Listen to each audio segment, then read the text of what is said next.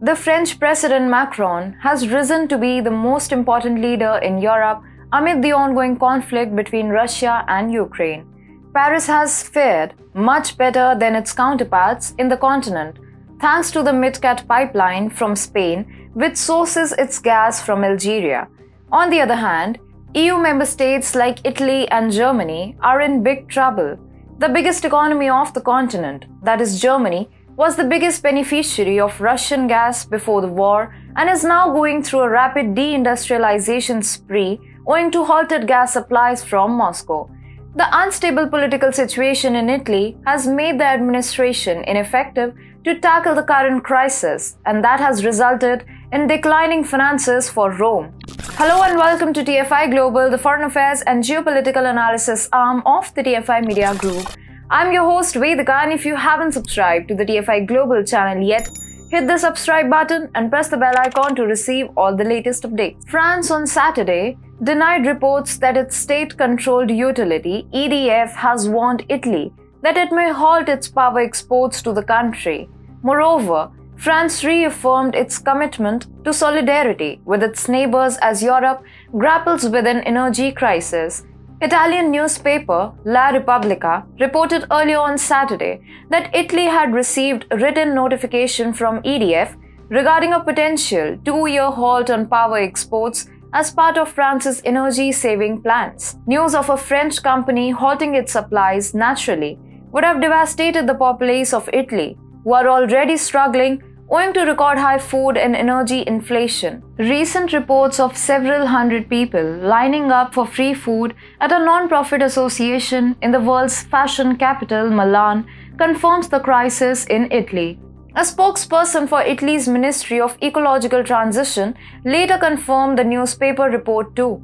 But later, the French Ministry of Energy Transition said in a statement French authorities deny this information and reaffirm their commitment to reciprocal electricity and gas solidarity with all of our European neighbors.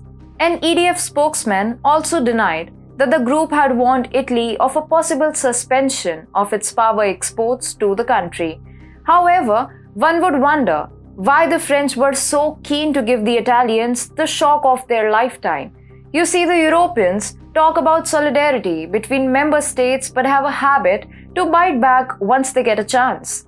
Macron could have directed the EDF to extend communication to the Italians and might have asked them to deny tooth and nail when the time comes.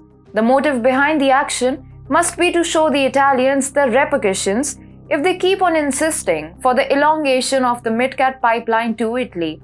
France has reportedly been blocking the elongation MidCat pipeline to both Germany and Italy. Paris has for years helped to underpin Europe's electricity supply, providing about 15% of its total power generation.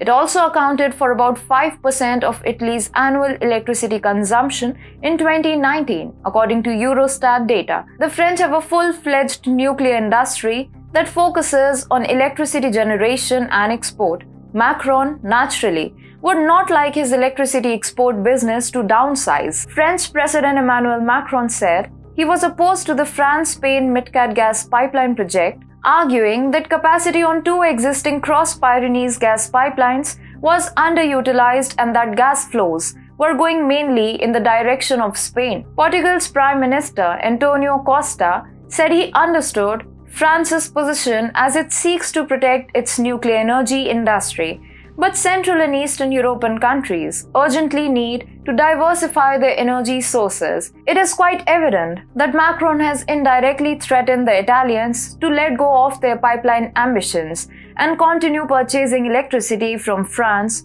or else he would do everything in his power to starve off Italy. So much for so called solidarity.